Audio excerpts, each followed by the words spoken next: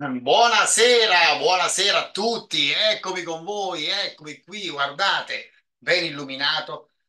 Scusate, con questa nuova carta stupenda, anzi questa serie, successione di slide che ora vi mostrerò perché i modelli, mi avvicino perché tanto poi li vedremo meglio scorrono, i modelli ci indicano un, eh, una progressiva, diciamo, pro- prolungamento e eh, incentivazione dei fenomeni che erano stati previsti inizialmente, che erano stati individuati sia dal modello americano che dal modello europeo e che eh, nelle missioni odierne eh, individuano già come iniziata una prima eruzione fredda di area polare marittima già in atto e con fenomeni eh, temporaleschi in molte regioni italiane, con gropel, grandinate, ad esempio a Treviso, dove c'erano 10 gradi alle 5 di pomeriggio oggi con un calo estremo e soprattutto individuano come nei prossimi giorni ci sarà una eh, progressiva reiterazione di questi fenomeni con almeno due impulsi perturbati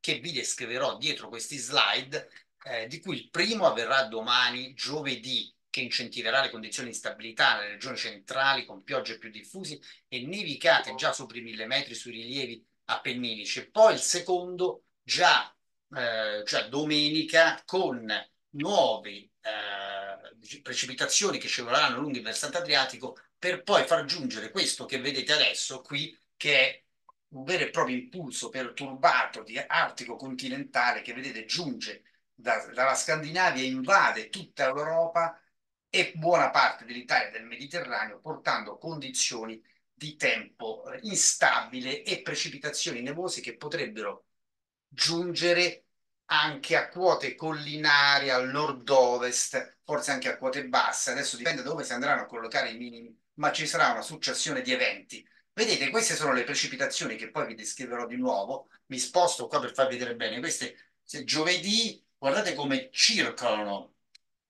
eh, nelle regioni italiane come transitano uno, più impulsi perturbati, qui arriviamo a domenica, vedete sopra c'è scritto sulla data, si intravede, eh, e una dopo l'altra arrivano, poi arrivano al nord-ovest nella fase finale della, eh, della previsione, eccolo qui che transita, qui siamo già arrivati ormai al ponte del 25 aprile e si susseguono gli impulsi perturbati almeno due o tre, ripeto, giovedì, tra domenica e lunedì e poi anche alle porte del 25 aprile. E questa è la neve al suolo prevista dal modello europeo al termine dell'emissione, cioè la neve cumulata, quella che cadrà in questi dieci giorni. Guardate, tutte le Alpi, il nord-ovest ancora una volta battuto fortemente con accumulo notevole, soprattutto a causa del peggioramento del 25 e poi anche l'Appennino. Questi sono gli spaghetti per la città di Roma, è un esempio che vi faccio, dove la linea bianca della, delle medie delle emissioni ensemble, sempre sotto quella rossa che rappresenta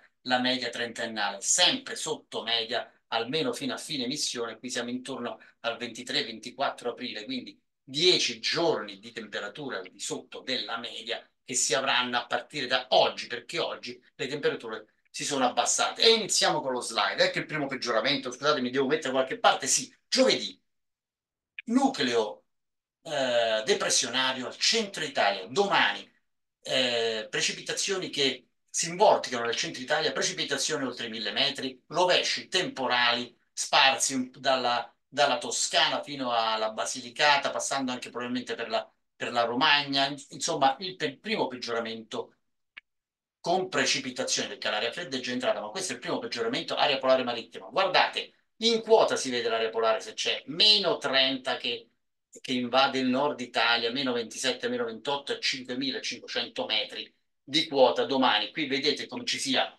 l'alta pressione che va verso nord e la saccatura verso di noi con questa meno 30 che entra sull'Italia settentrionale. E qui siamo a domenica, guardate, domenica il secondo impulso perturbato scivola lungo l'Adriatico, ancora più freddo. Qui siamo area artica marittima che arriva da, dal, dal Mar di Norvegia, e ancora quindi quota neve che si abbassa 700-800 metri, vedremo sull'Appennino, sulle Alpi, soprattutto versanti orientali e nord-est, in questo caso perché è la direttrice molto meridiana, quindi ancora il nord-ovest non è molto interessato, siamo a domenica, ma ora cambia. Il 21-22 arriva il nucleo artico più intenso, area artica continentale, perché arriva questa volta al mar glaciale artico a est della Scandinavia, entra nel Mediterraneo e qui dovrebbe colpire anche le regioni più occidentali. Qui le nevicate potrebbero arrivare a quote basse. Guardate come entra, freddo a flusso alto, guardate come entra sull'Italia,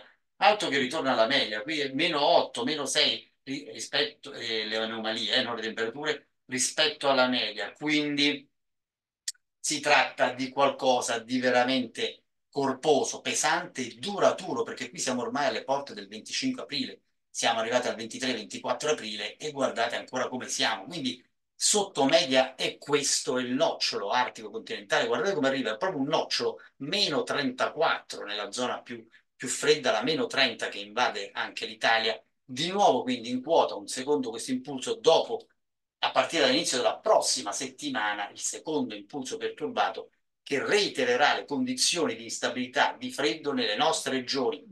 E questo, guardatelo qua, guardate come entra questo impulso, vedete come invade tutta l'Europa, l'aria fredda, questo nocciolo freddo che poi colpisce soprattutto il nord-ovest, la Francia.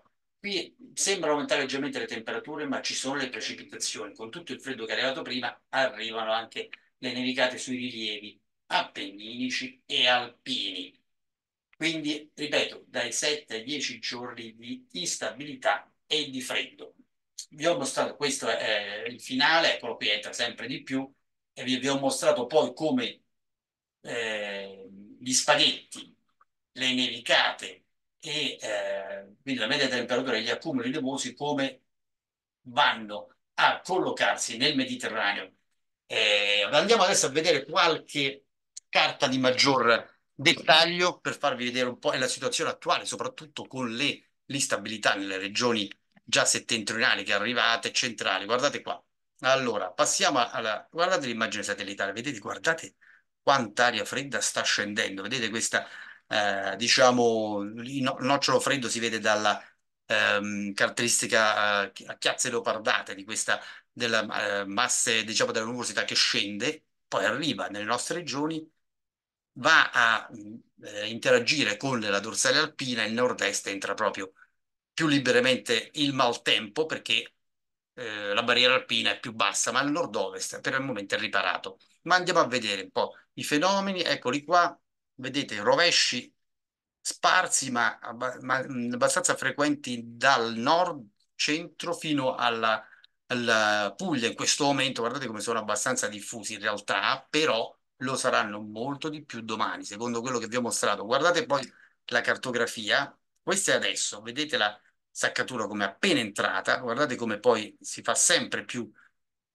come affondi sempre di più e viene continuamente rialimentata sempre più, attenzione, in maniera con contributo continentale. Vedete, prima arrivava da, dall'Oceano Atlantico settentrionale, poi sempre più a destra, vuol dire che è sempre più continentale e ancora sempre fredda, perché comunque il freddo nelle regioni del nord ancora c'è, nelle aree continentali. Vedete, guardate come continua ad affluire, faccia il giro poi dalla Francia, entri nelle regioni italiane e in questo modo porti sia umidità e freddo. E in questo modo, quindi ricapitolando, guardate poi gli slide che scorrono dietro di me, giovedì, domani, prima depressione che agisce nelle regioni centrali, rovesci che diventano più diffusi, nevicate sopra i mille metri, eh, non solo centrali, diciamo anche fino all'Appennino tosco-emiliano, un vortice che si colloca, ecco, nel Tirreno, lo vedete dietro, dietro di me, ma poi domenica il secondo impulso perturbato,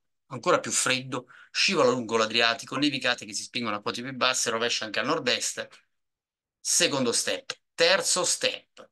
Intanto guardate eh, da partire all'inizio della prossima settimana nucleo artico continentale che stando alle previsioni attuali farà un giro più ampio, entra dal Rodano questa volta, quindi entra in gioco il nord-ovest, ma anche altre regioni del nord, l'Alto Tirreno, con nevicate questa volta che ai nord-ovest potrebbero spingere anche a quote basse. Attenzione a qualche sorpresa particolare.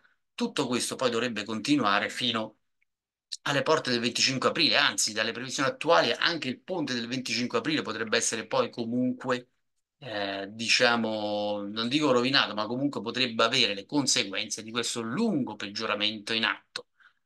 Eh, mi sembra di avervi detto quasi tutto. Avete visto la maglietta Meteoscienza mentre esponevo? Fan- fantastico. Eh, vi do tutti i link per acquistarla nei commenti, eh, nei commenti al termine del video. Continuate a farlo. Iscrivetevi al canale YouTube. Ecco, guardate che razza di servizio che vi ho montato. E comunque la- eh, il momento è veramente particolare. È vero che Abbiamo avuto poco in inverno, ma dal 20 febbraio sta sempre più incrementando, come molto spesso è successo in queste ultime stagioni, il- la dinamicità atmosferica arriva al culmine proprio tra fine inverno inizio primavera e poi anche nelle fasi centrali della primavera, come è successo lo scorso anno. Adesso c'è una fase perturbata, instabile e fredda che potrebbe durare davvero tanto, forse anche 10 giorni. Vedete il nucleo 3-34? Insomma, tenete a mente tutte queste successioni che vi ho detto e ci aggiorniamo molto presto, credo. Ciao, ciao.